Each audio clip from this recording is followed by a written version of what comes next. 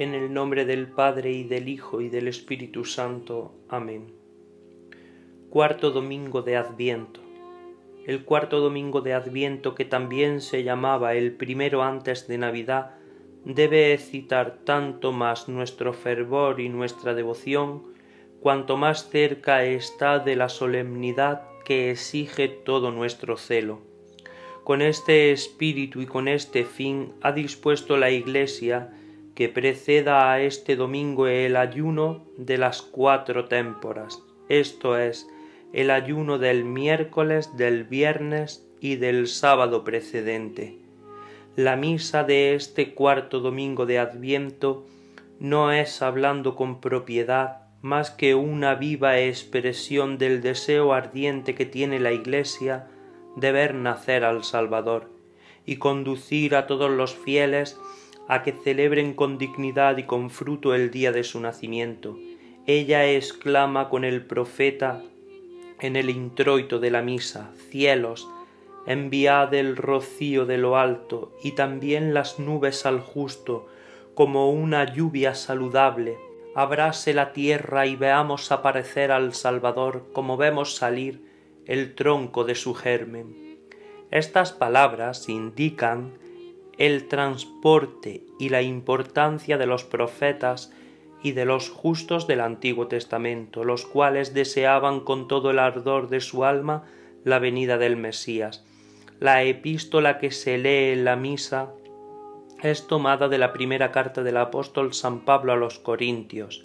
y mira a los ministros de Jesucristo, que son los dispensadores de los misterios de Dios y los pastores de las almas. El apóstol les exhorta en ella a que no hagan consistir su habilidad y su mérito en la doctrina, ni en la arte de bien hablar, sino en ser fieles a su ministerio, y en sostener la dignidad de su empleo por la regularidad y la santidad de su vida. La Iglesia, después de haber exhortado a todos sus hijos a que se dispongan por la penitencia y la piedad para la venida del Salvador, se dirige en especial este día a los ministros sagrados y les exhorta a que se distingan del resto de los fieles por su virtud, tanto como se diferencia por su carácter, y a que, ya que deben presentar al Salvador que nace los votos del pueblo en cualidad de ministros de Jesucristo y sus primeros oficiales, nada omitan a fin de hacerse ellos mismos más agradables a sus ojos en las funciones sagradas de su ministerio. El Evangelio es el mismo que el del sábado precedente. Contiene la historia de la predicación de San Juan Bautista y de la primera función que desempeña, en cualidad de precursor del Salvador, como lo cuenta San Lucas. El Hijo de Dios, esta verdadera luz que ilustra a todo el que viene a este mundo, había permanecido incógnito en Nazaret y como oculto en la oscuridad de una vida privada,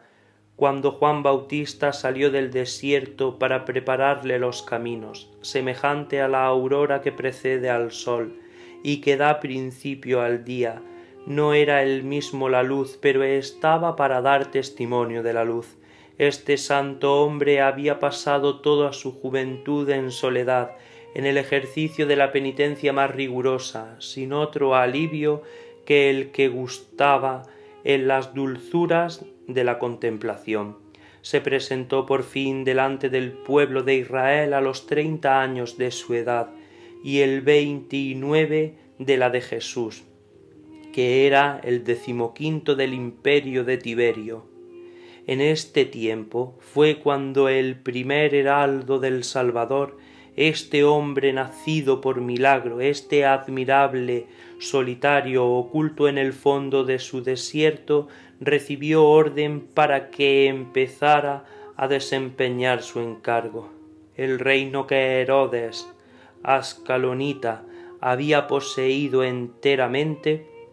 estaba entonces dividido en cuatro principados, el primero y el más considerable, que era el de Judea, había quedado sometido al imperio romano después del destierro de Arquelao.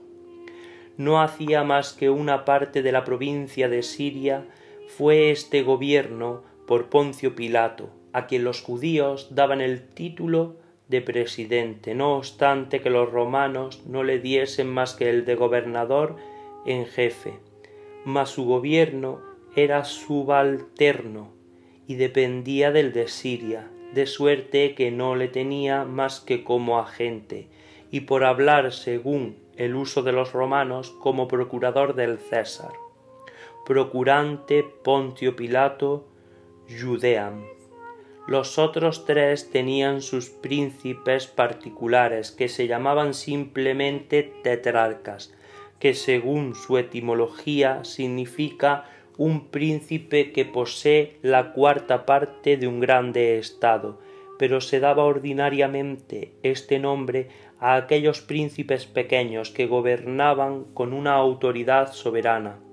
Y los evangelistas dan también alguna vez a Herodes tetrarca de la Galilea el nombre de rey que los romanos le habían permitido tomar. Este Herodes era hijo del primer Herodes llamado el Grande y poseía la Galilea, que era una parte de Palestina, en los confines de la Samaría. Filipo, su hermano, reinaba del mismo modo en Iturea y la Trascónites, hacia el septentrión. Era esta una provincia situada hacia el nacimiento del Jordán, la cual había hecho parte de Siria. En fin, un tal Lisanias, descendiente acaso de aquel otro Lisanias que Marco Antonio había hecho rey de los situreos, mandaba en un trozo de la Celeseria, que se llamaba Abilina, entre el Líbano y el Antilíbano.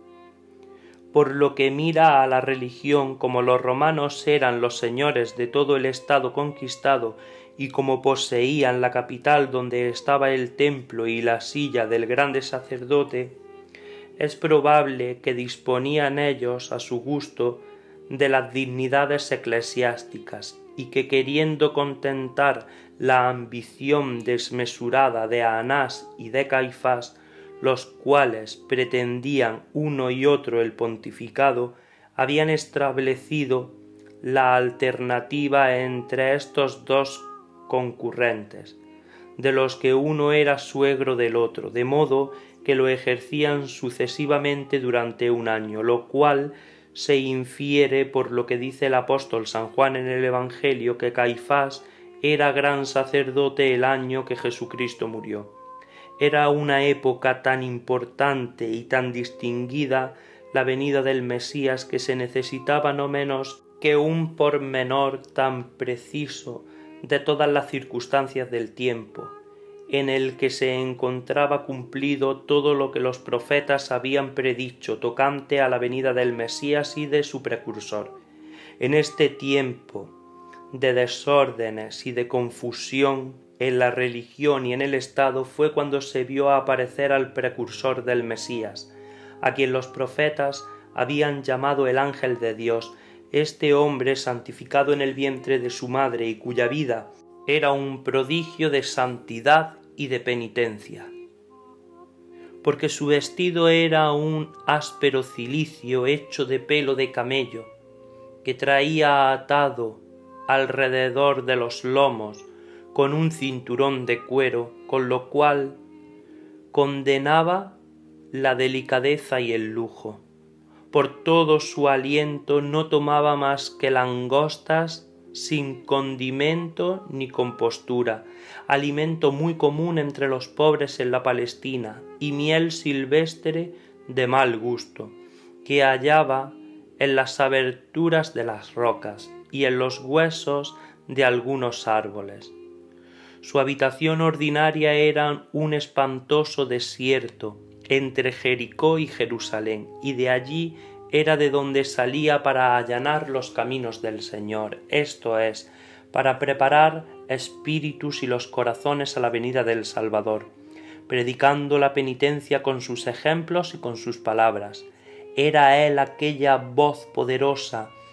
que según Isaías decía resonar en el desierto y enseñar a los pueblos para que se dispusiesen para la venida del Rey y de su Redentor. La voz del que clama en el desierto, preparad el camino del Señor, aclamaba el profeta Isaías, viendo ya desde entonces al santo precursor que por tanto se llama a sí mismo la voz del que clama en el desierto. Él es en efecto el que preparó los caminos de Jesucristo, preparando los pueblos a que lo recibiesen como a su Salvador y demostrándoles que Él era el Mesías. Nada hay tan claro, nada tan preciso como lo que dice el profeta en este pasaje con respecto a la venida del Salvador del mundo. Consuélate, pueblo mío, consuélate, dice tu Dios. El profeta en este capítulo y en el siguiente nos escribe la felicidad de los israelitas después de la vuelta del gran cautiverio de Babilonia. Sin embargo, no es este el objeto que más le ocupa. La venida del Mesías, su reino, el establecimiento de su iglesia, la vocación de los gentiles a la fe son sus miras principales. San Lucas fija el verdadero sentido, refiriendo las palabras del profeta con motivo del santo precursor. Hablad al corazón de Jerusalén y decidle que sus males se han acabado, que sus iniquidades le han sido perdonadas. Dios va, por fin, a enviaros un Salvador. Yo oigo ya la voz de su precursor, continúa Isaías, que clama en el desierto como su heraldo, que anuncia su venida y que dice, preparadle los caminos para que entre en vuestro corazón, reforzando vuestras costumbres y rectificando vuestra conducta por la penitencia. Allánense todas las montañas, llénense todos los valles, enderecense todos los caminos torcidos, hágase practicable todo lo que está extraviado, áspero, escarpado. Es decir, que las almas tímidas tomen confianza, que las almas terrenas y materiales dejen de andar arrastrándose por la tierra y de hoy en adelante se eleven sobre todo lo que llena los sentidos, que todo espíritu vano y orgulloso se humille por la penitencia, en fin, que reine en todas partes la inocencia, y entonces todo hombre verá la salud enviada por Dios. El texto dice que todos los valles serán exaltados y las montañas humilladas lo que en el sentido moral significa que el Salvador venía a humillar el orgullo del mundo y confundir toda su falsa sabiduría, eligiendo para fundar su iglesia hombres simples, pobres e ignorantes, y la muerte misma en la cruz para salvar a los hombres. Dios ha escondido lo que es flaco en el concepto del mundo para confundir lo que hay de más fuerte en él, dice San Pablo, la salud se ha ofrecido a todos los hombres, puesto que Jesucristo se ha encarnado, ha nacido y ha muerto por la salvación de todos los hombres. Pero, ¿cuántos rehusan la salud, oh Dios mío, que vuestra bondad les presenta? Oh, y cuán digno es de vuestra cólera el que desprecia vuestras bondades. Al paso que se acerca la fiesta de la Navidad, la Iglesia redonda sus convites y sus exhortaciones para mover a los fieles a que redoblen su cuidado y su fervor para ponerse para ponerse en estado de recibir con santas disposiciones el Salvador de nuestras almas, sin las cuales nada importa celebrar su nacimiento ni se tiene parte en sus dones. Ave María Purísima, sin pecado concebida.